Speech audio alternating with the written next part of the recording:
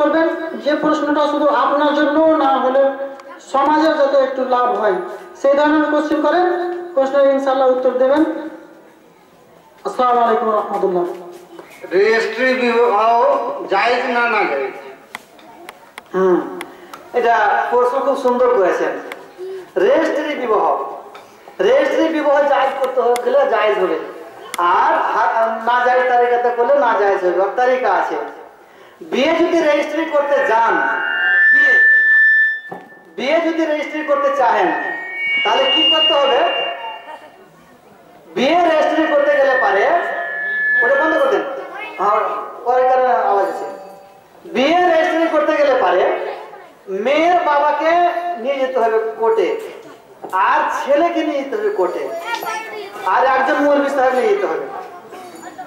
বিয়ে রেজিস্ট্রি করতে চাহেন যদি তাহলে এই মেয়ের বাবাকে আর ছেলেকে আর একজন মৌলবী সাহেব আর দুজন সাক্ষী। এই পাঁচ জনকে নিয়ে যেতে হবে সঙ্গে করে। তাহলে কোর্টের বাইরে কোন জায়গাতে বসে বিয়েটা পড়িয়ে দিলেন। মল্লিক সাহেব খুদবা পড়ে বিয়ে পড়া হয়ে গেল, তারপরে এবার লিখিত রেজিস্ট্রি করলেন। তাহলে বিয়েটা হবে জায়েজ। আর ছেলে নেই ওখানে, মেয়ের বাবা নেই, সাক্ষী নেই আর মৌলবী সাহেব খুদবা পড়ে বিয়েও পড়াইলেন না, তো এইরকম কোর্টের বিয়ে না জায়েজ, হারাম। আর আমাদের এলাকাতে, আপনাদের এলাকাতে এই ধরনের বিয়ের দ্বারাতে সব আসা যাওয়া শুরু হয়েছে, একদম না চলছে সেটাকে বন্ধ করতে হবে আমাদেরকে। বুঝতে পারলেন? আশা করি বুঝে গেছেন।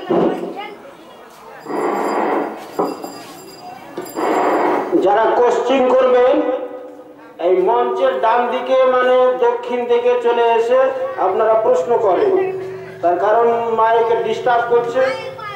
তো আপনাদের কারও যদি প্রশ্ন করার থাকে আপনারা আসুন ডান দিকে ওখান থেকে আপনারা প্রশ্ন করুন তার উত্তর দেওয়া হবে। আসসালামু আলাইকুম। বলেন। আমি একটা কোশ্চিন করছিলাম যে ওই যে বিয়ের পোলের ব্যাপারটা বললেন। এবার ধরে নেন এমনই গরিবের মেয়ে আছে গরিব লোক আছে যে আমি যদি টাকা দিতে না পারছি তাহলে বিয়েটা আমার মেয়ে ভেঙে সে বিয়েটা হচ্ছে না। তাহলে আমাকে বাধ্যতামূলক যদি আমি দশ হাজার তিরিশ হাজার যেটা কথা দেওয়া আছে, ওই টাকাটা আমি দিই, তাহলে আমার মেয়ে বিয়ে যাচ্ছে। যদি আমি না দিচ্ছি তাহলে আমার মেয়েটার বিয়ে হচ্ছে না। তাহলে এই ক্ষেত্রে আমি কি করব।